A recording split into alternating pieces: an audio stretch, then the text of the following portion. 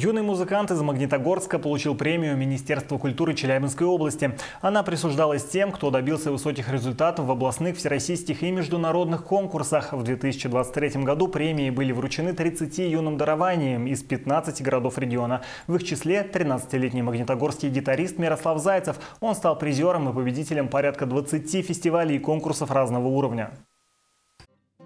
Рассказывая о своей конкурсной деятельности, Мирослав Зайцев говорит, что самым насыщенным был 2023 год.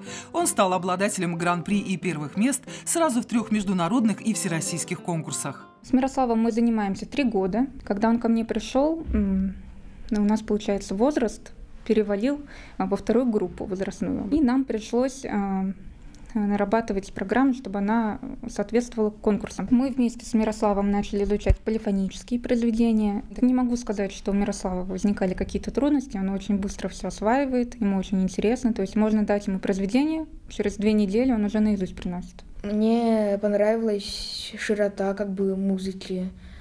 Вот что что-то очень новое необычная для меня. Музыка состоит из практически двух мелодий. То есть одна в басу, другая наверху. Их всех нужно слушать и правильно расставлять, какую-то громче, какую-то тише.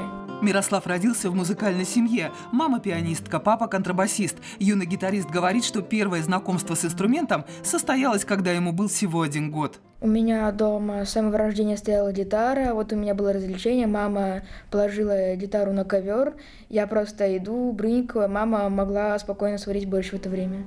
Эти занятия принесли свои плоды. Уже в 7 лет Мирослав мог на слух подбирать музыку, а в 10 выиграл первый крупный конкурс. Всегда ставят 100 баллов, очень редко, что там кому-то что-то не понравилось. Когда Мирославу э, предлагаешь куда-то поехать или поучаствовать в концерте или в конкурсе, он всегда согласен, лишь бы куда-нибудь съездить, выступить. Мы чуть ли не каждый месяц, да, выступаем. И всегда это лауреатство, это всегда первое, второе, третье.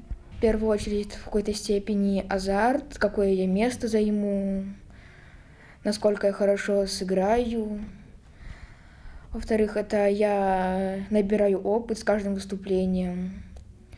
Я начинаю лучше играть на сценах, начинаю меньше переживать, волноваться.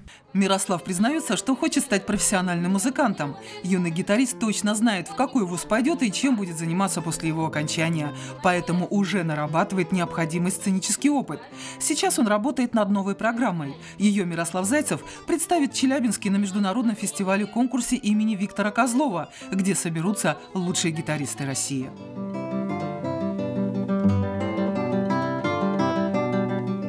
Татьяна Артеменко, Александр Макаров, телекомпания ТВИН.